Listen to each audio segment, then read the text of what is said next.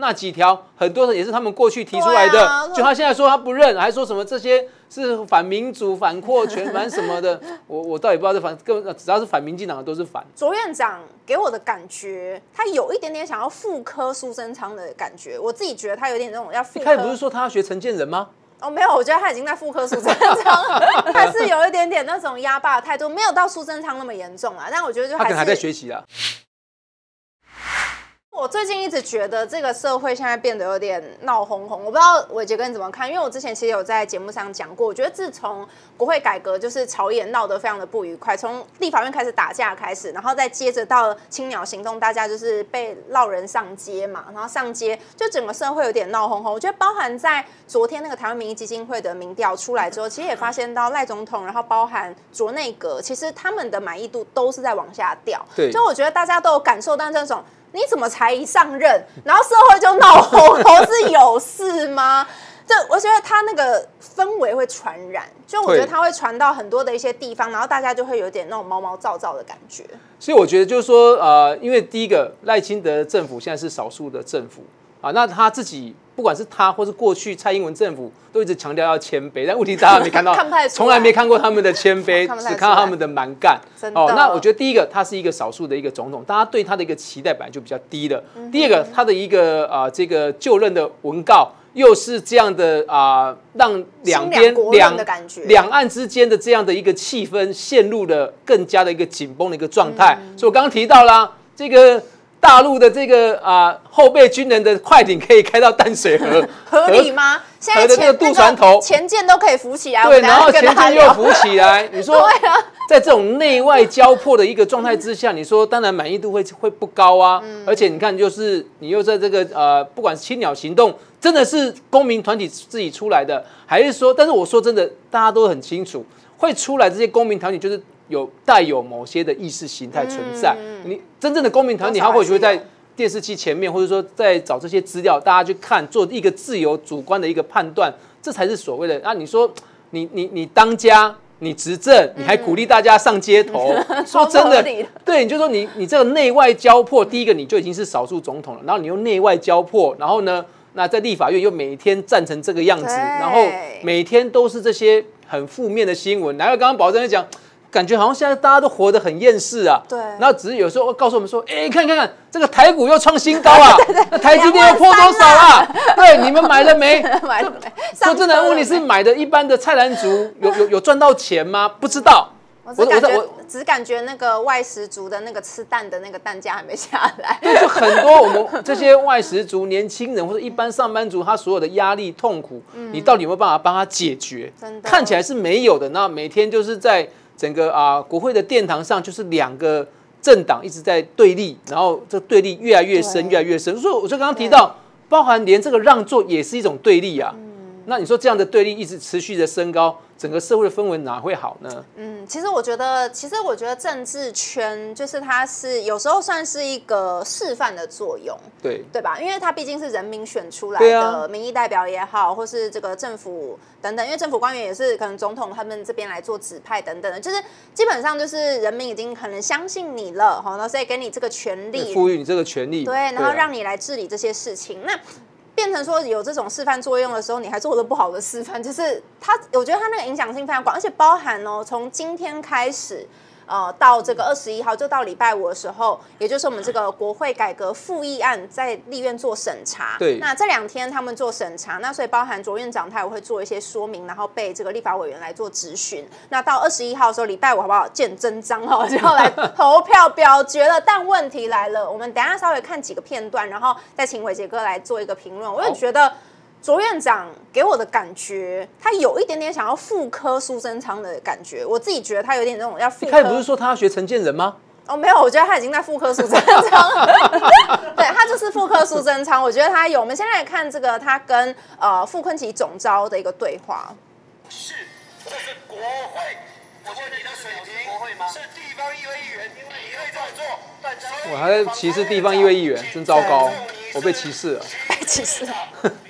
不而且跟大家说，就是卓院长他有几个我我后来看了几个，我觉得他最近一直也不是最近，就是他开始就一直很喜欢插画。我们再来看下一个，下一个是这个张启凯委员的。恐惧感呃，张启凯委员是有稍微教育了一下左院长。拍写，删掉的章没拍写啊。如果赖总统要是跳票的总统，他民调还会继续掉。反国会改革、反进步、反民主、反全改革。蔡英文在总统大选的时候，一百零五年提了很多国会改革的方案，你们有做吗？你们有做吗？你这是太上行政院哎，你是耳环对不对？谁是太上？你这是太上去。三道四，连我们程序都管哎，新闻打哦。他就 对他就是忍不住就很想要插话，这个还好。我再再来看下一个，他跟这个洪孟凯委员的，四十四条里都可以面，总共有十二条实质修正是通过民进党团的版本，而里面有四条是三个党团共同修正动议的版本，真正独立只有国民党团的版本通过的只有一条。这怎么没有尊重少数呢？审议过程里面，立法院立法委员针对我们的职权提出来，结果你行政院反驳的时候，完全没有去看，没有去了解，你就用民粹式的方式来去跟民进党团做造谣的口号，我怎么会提出这样的问题呢真的无助于议事了解我怎么会这样提呢？我第一次看到行政院长那么孤立，然后没有官员要上来救驾。因 为你的问题不是官员的问题回答的。至少我们现在相关部位首长也都应该了解啊，不然你怎么会提出复议案呢？哇，我觉得左院长已经开始有点这个语无伦次，有点被问到语无伦次，就是他会一直很想要赶快去反驳立委所提出来的，像包含刚刚你看到他跟副总召的对话，看歧视地方议员，合理吗？对，就真的不大合理的。我说真的，就是说啊，不管当时，哎，大家还还对卓荣泰有点期待，想说，哎，他在当党主席的时候，啊，这个调和顶赖的功力特别好啊，应该是人缘不错哦，而且或许是没那么这个激进的。结果看他这样的一个在国会殿堂的这个质询的方式，说真的。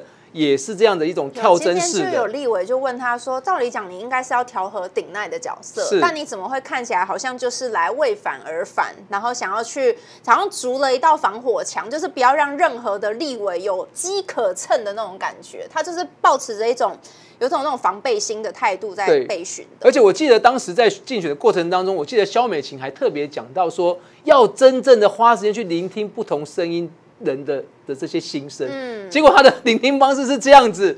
我说真的哦，就说大家看在这个很多的民众看在眼里，不管是理性的选民也好，或者说各个政党的选民也好，我会发现说，整个民进党现在就是整个倒行逆施，然后呢就是一样，即便是少数政政府，还是做他想做的事情。所以我，我说真的，确实在很多的，我们可以不管是从理论来讲，实物来讲，我说真的，真的没有人这样子在当家闹事的。嗯，哎，说真的，你说这样子对整个台湾的社会会有比较好吗？没有，只是造成对立的加深。而且你说一样，福国利民的政策有办法持续去推动吗？没有，因为大家每个政党没有任何的默契嘛，对不对？我说难听，你说，就是说像他每一天在骂骂说这个这个这个呃呃这个呃。呃，民众党是我们的附水组织，是干嘛呢？对不对？每个政党每个政党的路线嘛，对不对？这每个他自己看会看他的这个条文内容，该不该合，呃该不该合作，是不是福国利民才是优先的嘛，而不是像他们这样子，就像刚刚洪孟凯立委提到的那几条，很多的也是他们过去提出来的，就他现在说他不认，还说什么这些是反民主、反扩权、反什么的，我我倒也不知道是反，根本只要是反民进党的都是反。对，只要没有按照民进党所要的那个完整的版本，哦，对，就是反。就是反。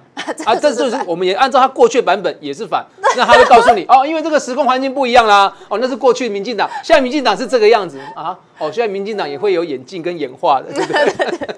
我倒是觉得他们的演技有持续在进化。嗯，你是说卓龙泰吗？有有有。而且我觉得啊，他他给我的那种感觉，我不知道怎么讲，就是他有点皮笑肉不笑，就是他在听委员讲话的时候，他就呈现一种 有一种你知道，就是。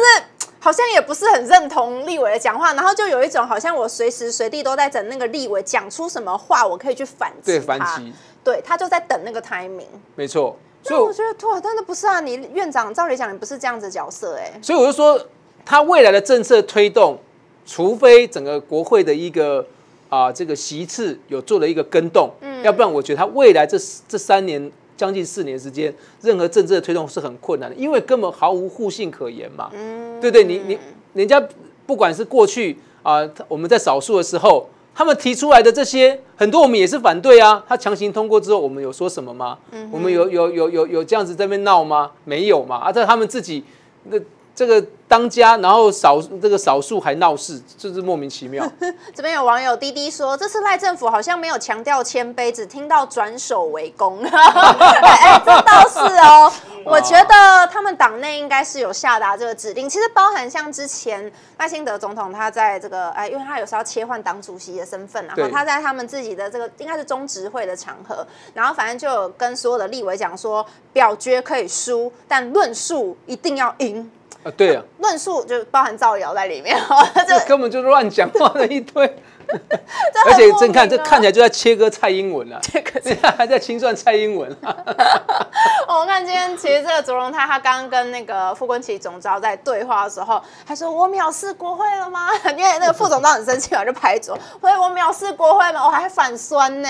对，就是说，我觉得这样的一些会话语，对于一个国家最高行政首长，这说真的，这种话语的，这跟国会议员的对话，真的是非常没有必要。第一个，嗯对于朝野的和谐跟进展是没有帮助的，只是加深大家彼此的不愉快。所以你看，副总都要拍桌子啊，因为你你我我问你什么，你就说，呃，你要你要这个，这就是有时候讲说，就是故意在挑衅嘛。对对，那我觉得不好，因为第一个，如果是你多数，你要挑衅也就算了，对你少数还在挑衅，那就莫名其妙多数不用挑衅，他多数就碾压就好啊，了。对他都是这种碾压的，对呀，以前哪有听你的直接表决了？直接表决以前我们国民党多数的时候还说啊，好来朝野协商，来直接休息，来朝野协商。现在这哪有？啊，不要管了。对不对我必须要讲，韩国院长真的已经很了不起了，他都是真的都按照那个议事程序在走，但。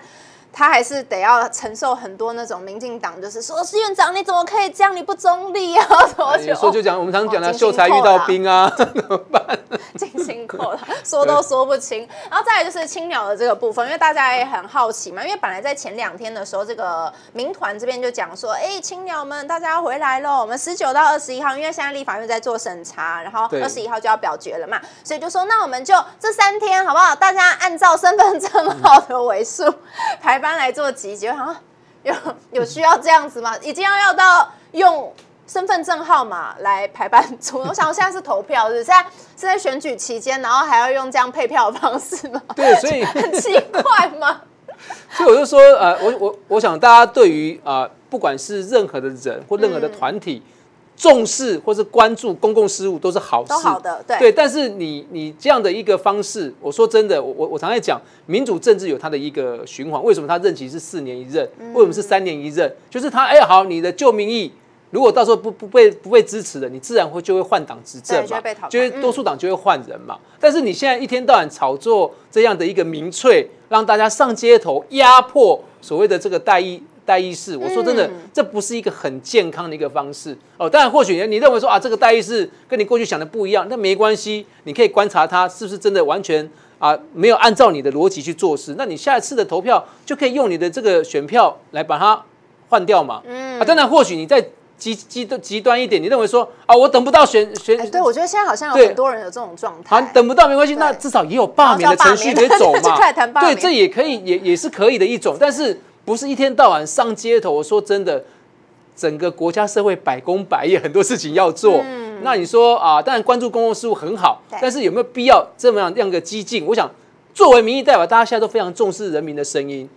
你的你的表达，你的诉求，大家应该都听到的。每一个每一个选区的委员们，一定都听到你们的选的诉求。那这样的诉求，大家会去思考、去思索，在这个你政策拟定过程中，要不要做一个调整跟改变，符合多数众人的利益嘛？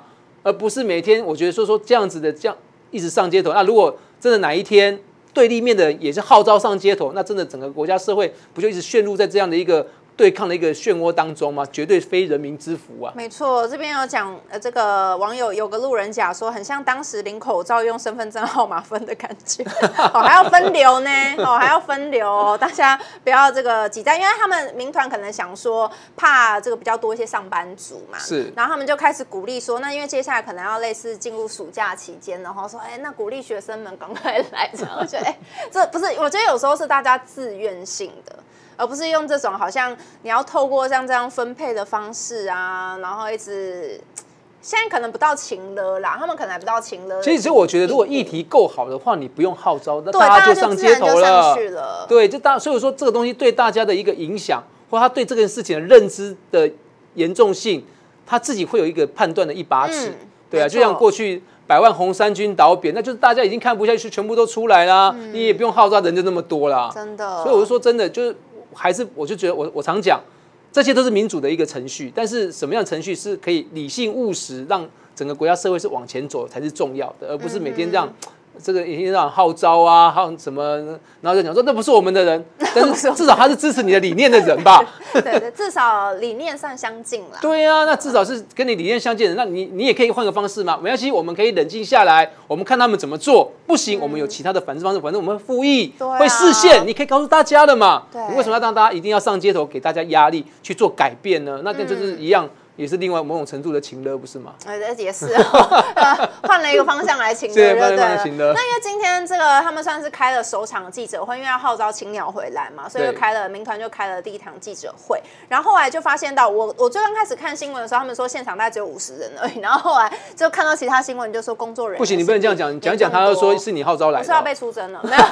你说人太少，他们就会说啊，因为你说人少，所以我们人变多了。你不要反不能激将法，对对，不不要激，能激将法，不要激不要激，没有，我没有激将的意思。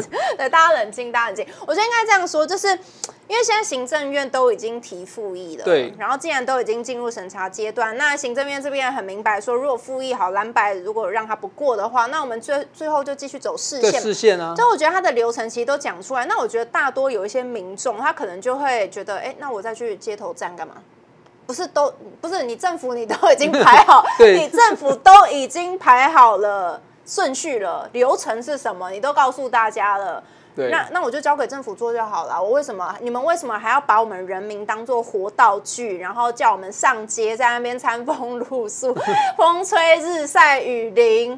对啊，我就对，所以我就我就说，其实很多的民众，我觉得这分两个点。刚刚保证讲中一个点，就是说，哎，如果整个政府已经把他的一个呃跟立法面这个不同声音的一个路线已经告诉你，对我会先提复议。复议，如果你们维持原案，我我必须照做，没关系，我还是先因为按照宪法程序，我还是得照做嘛。照做完之后，我们先我就按照规定一样提大法官会议来释宪，要求问说这个到底有没有违反宪法的一个嗯宪政的一个规范？哦，我你已经把它告诉我，这第一个路径你已经告诉民众了。第二个，我还是必须强调，就是说这样的一些事情，说真的，我记得好像也是前两天不是有个民意基金会，还有一个基金会讲的嘛，说真正了解这一次啊，不管是国会改革，或者他们所称的反民主、反扩权的一个内容，说真的认真实质了解内容的的人真的不多。对嗯所以你这个时候没有共鸣感嘛，所以你没有共鸣感，当然人就没办法上街头嘛。你说哈哈扩权，你说他真的会去调查到一般一般人民吗？我说真的也，没有啊，这种东西是一个立法，或是说是